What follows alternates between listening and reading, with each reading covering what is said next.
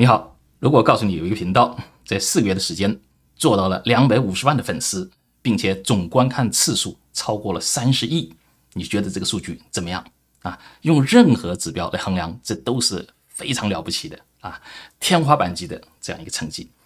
那这个频道是怎么做到的呢？这个频道就是加拿大的一个三胞胎做的这样一个频道。那你可能一听到。我我这样子讲，就三胞胎，谁有这样的条件来做这样的频道？那个三胞胎太少了啊！能做这样的频道的话，那当然啊，他先先天条件非常啊特殊。但是你接着听我讲下去啊，其实这个跟三胞胎没有什么太大的关系。我们首先来看一下这个频道的数据，总共上传了七百零九个视频，到现在是两百五十一万的粉丝啊，他的视频的。观看量，大家注意看这个逗号，逗号在这个地方，逗号啊，总共三十一亿次的观看量啊，看它这个呃增长曲线，大家注意看到啊，八月份的时候只有两千六百个粉丝，在一周之内爆炸式的增长到这这么大的数字。那我们再看其他的几个关键的数字，每天有两千万次的观看量，每一个月有六亿多的观看量。嗯，所以它整个频道的总观看次数三十一亿次之多。那根据 Social Blade 这个提供的数据讲，估计他一年的收入现在啊要超过两千九百万美元。嗯，那我告诉你，到不了这个数字啊，真实的数字要比这少很多。但是四个月做下来的成绩也是相当的可观。那我们再看它的更新频率，这是另外一个啊非常重要的数据，看到了。二十八号，二十八号，二十七号，二十七号，二十七号，二十七号，二十七号，二十七号，二十七号，二十七号，啊，一日多更这样一个状态。那了解了这些基本数据以后，我们现在回来看它这个频道，大家注意看到啊，视频页面看到，首先第一全是短片。那么我们把它这个视频进行排序啊，从最热门的这个排序方式，你可以看到一点六亿次。一点三亿次，一点二亿次，一点一亿次啊，过亿次的观看量的啊，有有四到五个，那下面的都是几千万的这样的观看量。那你讲什么样的短片能够观看过亿？哎，你先看一下这个封面图啊，一个纸盒子里头放两个东西啊，然后三兄弟来品尝一下子，哎，看看就像盲盒一样，哎，我左边的是好吃的，右边的是难吃的，或者是右边是难吃的，左边是难呃好吃的。就这个简单的套路啊，我们看一下一些视频的这个片段，嗯，比如说这个视频，左边是 cream，右边是这个芥末，所以左边是好吃的，右边是难吃的。人在这个盒子后面选择用左手来蘸一下，还是右手来蘸一下，然后吃一下，一个表情。ice cream，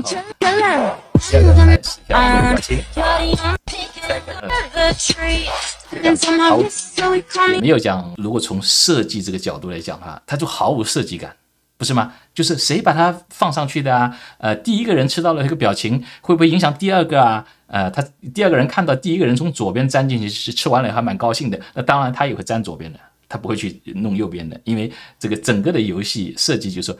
一个好吃，另外一个不好吃，就是三个人依次这样子做。你看，它有一亿六千万的人观看。好，他是老玩这个套路啊。你可以看第二个，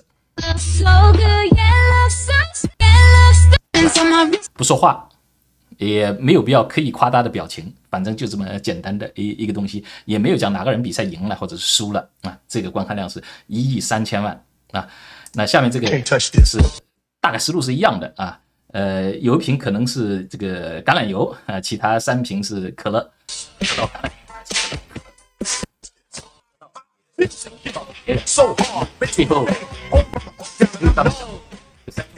是不是它的这个核心的一个因素呢？我认为不是，因为我根本就不在乎这个是老大还是老二还是哪个是老三，对吧？我只是在这边凑热闹看这个呃四十秒钟，那不仅我看，还有这个呃八千万的人在看这样一个东西。好。那紧接着再看下面这个，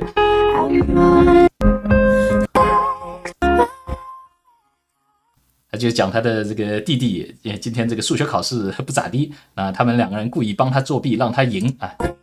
技术含量没有太多的这个戏剧反转，或者是这个游戏有什么难度没有，它全是这一类的东西啊。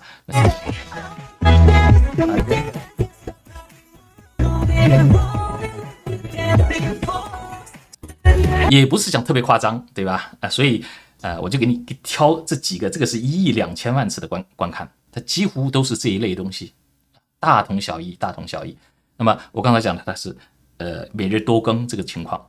那好，你讲这种节目是不是太无聊了一点呢？谁会去看这个东西？首先，我必须承认，这是一个杀时间的节目，就是填补无聊时间空白的。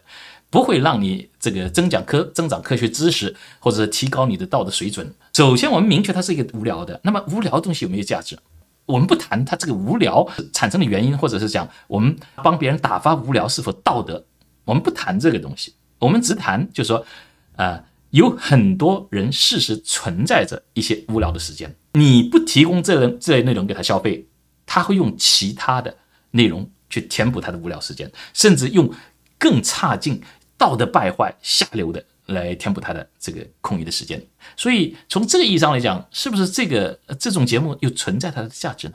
那么从这个方向去思考的话，那意味着啊这类东西平台不会严厉打击它，因为它没有会淫会道，对吧？虽然它没有太多的价值，但是这个呃人民群众用脚投票、用时间投票，就明确的讲，我看这种东西。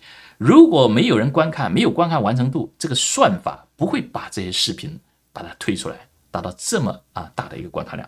第二个观察，呃，就是这一类的节目从设计上面来讲，没有挑战，没有困难性啊，拍摄没有复杂性，然后呢，制作上面也极其简单，甚至都不要说话，不需要一个夸张的表情或者是呃身体语言，就是这么简单。你要的就是快节奏、短小，然后呢有。比赛的特征啊，这个它是一个挑战类的东西。如果你自己一个人放了这个四个瓶子在面前，一瓶油三瓶水的话，你这样的玩一点意思都没有。那但是有几个人来讲，其中一个人倒了霉，其中一个人啊被恶作剧，这个事情就有点意思啊。另外一点就是这个东西啊，它要快速的出结果，所以你这个游戏不能复杂。你一复杂哈，我就要告诉你这个规则是什么，我就必须开口来给你给你讲解。所以游戏要足够简单，足够傻，然后呢，要有一点点挑战。挑战不是这个游戏有挑战，而是相互之间有点比赛的意思，就有人倒霉，所以是这样子的，才大家就看啊，就就讲谁哎谁那么倒霉，呃，吸到了油，那个人啊呃运气好一点，吸到的是这个呃这个可乐。像这种节目，你完全没有必要去深究讲。其实他们三个人都知道，呃，第几瓶是油，呃，第几瓶是水，不是吗？完全可能又没有讲什么蒙起眼睛来啊，其他的人讲喊开始，这是完全自己摆拍的嘛，对吧？所以大家根本就不深究。一亿多的人看这种节目看得津津津有味的啊，一亿多的观看量，有四五百万的观点赞。像我看这种节目，通常看过就看过了，无聊，我知道我浪费了四十秒，但是呢。有几百万的人讲我喜欢，看完还点赞啊！所以这个世界是什么样的人都有的。那呃，还有呢，回到我最开始讲的，这三胞胎重要吗？一点都不重要，因为你他们不说话，他们个性有什么差异？他长得漂亮不漂亮一点都不重要。你可以这个是一个黄种人，一个白人，一个黑黑人，三个人在这边做这样的也挺好。所以。这这这个节目的形式可以是同学，可以是夫妻，可以是家庭，可以是这个呃街头挑战，可以是呃这个办公室里头的，只要是几个人都可以啊。你在抖音上看见有的账号就是办公室的人周末的时候来来拆盲盒、拆奖，也是看的人津津乐道，就是这个样子啊。无脑的、低级的、简单的这样的游戏，大家就会看啊。但这种东西，你要是做成一个长的节目，两分钟、五分钟。完全不成立啊，所以必须是短片。所以短片这种形态啊是最厉害的。我甚至都认为这个是比那个什么呃美女什么大腿更厉害的一种方式。因为美女大腿的那一类东西稍微平台会有点抑制，这一类东西它是中性的，相当是人畜无害的东西。所以平台一般它不讲鼓励，最起码它是默许，所以它会有很多很多流量出来啊，在。呃，TikTok 上面、抖音上面，现在在油管上面看到的都是这样一个东西。做这类的频道的方法就是把抖音打开，然后就刷这一类东西，看见一个模仿一个，看见一个模仿一个，啊，你又不用开口，他用雪碧，你就用茶水这个瓶子，呃，他他用某个道具，你就用另外一个道具，就这么简单。他在桌子上，你就在这个草地上，这个形式，所以不重要，不需精细，只需要这样呃快速。今天给大家看这个案例的主要是想让大家看见做这样一个东西，你可能瞧不起，你觉得很无聊的一个东西，它是有多大的潜力。最后我再回头来。再讲到赚钱，我刚才讲为什么它这个赚钱不会太多，不会是到两千九百万一年，因为这个短片现在啊，除了短片创作基金以外，它还没有通过广告播放来赚钱啊，广告播放正在测试。